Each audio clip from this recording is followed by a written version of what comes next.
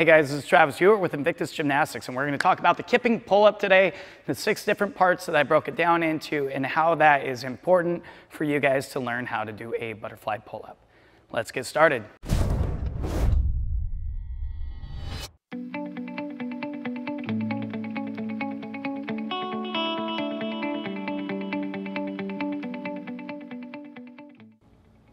Step number one for getting up to the bar, the most important part in my opinion, is we are going to step up to the vertical plane of the bar, put our toes right there. And so the bar is slightly in front of us. We can look up and see it without having our head completely tipped over backward. And we also don't want to be far back to where we jump up to the bar. We have to jump forward to get there because that's going to cause a forward and backward swing into the first pull-up. Step number two is a lazy L bar mount. From that jump up that we just looked at, you guys are going to slightly lift your feet in front of you. It's a lazy L, like an L hang. So you just let your feet be kind of forward. They're going to point slightly in front of the bar. Um, and your knees are probably going to be pretty much lined up with the vertical plane of the bar. Okay, moving from the lazy L bar mount, where your body was back behind the bar, when the body weight is back behind the bar, it's gonna slightly swing forward and then we're gonna create the loading position. A loading position is just to create a position that's ready to create power from, right? So what we're doing is we're getting a little bit of stretch in the front side of our body, not a lot. There's no reason to shove your head through or anything like that, but we're going to allow our chest to kind of lift up. We wanna keep our chin up, that way we don't push our head through, and that will create this stretch in the front side of our body. Bend your knees slightly as necessary because what we're going to do next is drive the legs down and then swing them forward. I want you to think about if there were a beach ball in front of you, how far you would kick that across the room from this position. You wouldn't just snap into a beach ball, you would smoothly gain speed into the ball to kick it further, and that's what we're gonna do from the loading position. All right, now moving from that loading position with the legs back, we're gonna drive them down until our legs are straight. Once the legs are straight, we're gonna have the whole leg coming up until it meets the half toes to bar position. So I call this a kipping half toes to bar. I want you also to keep in mind that when your feet come up and through into this position, they shouldn't gradually stop. They should come up and stop immediately, okay? We want a lot of speed in the feet up until that point. It's going to make a big difference to what happens in uh, step five. But uh, in this position, what I want you to notice is that the shoulders are still completely extended. The shoulders should be extended because as your legs are coming through, they are building upward momentum. We are not going to hollow and start rolling the hips upward. We want the leg weight moving vertically as fast as possible, and that will assist with uh, all the next things to come. As the kipping half toes to bar. Now that the feet came up and they stopped abruptly, it's going to create this hip extension. That hip extension is crazy important.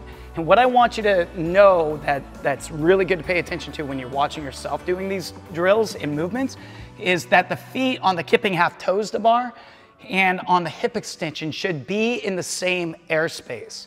If you do the hip extension and your feet drop, it means one uh, or both of these things. Either your legs were not moving fast enough into that half toes bar position and or you didn't stop them fast enough.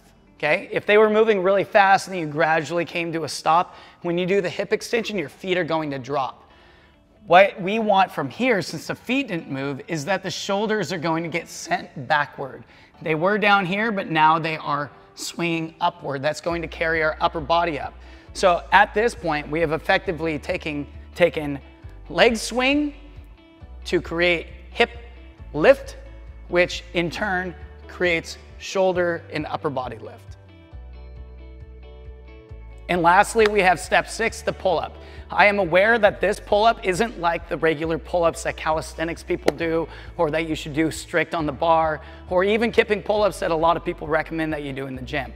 What I'm trying to do is create the circumstance where you can learn a butterfly pull-up and this still counts in CrossFit. Your chin goes over the bar. So just to get that disclaimer out of the way, what we have effectively done up to this point is we created speed in the feet. The feet came through with the leg weight, creating momentum. The feet stopped, the hips extended. Because the hips extended, it sent the shoulders backward and upward. And now at this point, we are basically just riding out the fruits of our labor. You should not be pulling on the bar at this point. You're attached to the bar, so you just guide yourself into position. Keep the chin up. The chin higher than the bar is what creates the standard of finishing the pull-up. That is the rep line. If your chin goes over the rep line, that pull-up counts. So we're going to keep the chin up. We're gonna bring the elbows down at a 90 degree angle, and that is the completion of the pull-up. The feet should still be hovering in the same spot that they were at, at the kipping half toes to bar, all the way through the hip extension, finish the pull-up, the feet should still be floating in the same space. To connect these things, you're gonna just go backward from step six to step three. We're not gonna worry about jumping to the bar and doing the lazy L position because that's how you jump from the floor into your kipping pull-ups. But as you come down from here, you're gonna go from this position into the hip extension, drop your hips into the half toes to bar, swing your legs back into the loading position. And as long as you are doing all of these items, the way as I just described, you are going to be able to keep rhythm. And instead of getting one, two, or three pull-ups that all feel slightly different, you're gonna feel consistency throughout all the pull-ups. The only difference about the kipping pull-up, as I am teaching it here in the butterfly pull-up, just so you know, is that once you finish this rep, you allow your body to start dropping. Then you pull your legs back and you are all the way back into step three, the loading position, ready to go for the next rep. So generally speaking, a kipping pull-up and a butterfly pull-up are the same movement, but the butterfly pull-up comes down preloaded. Thank you for watching, guys.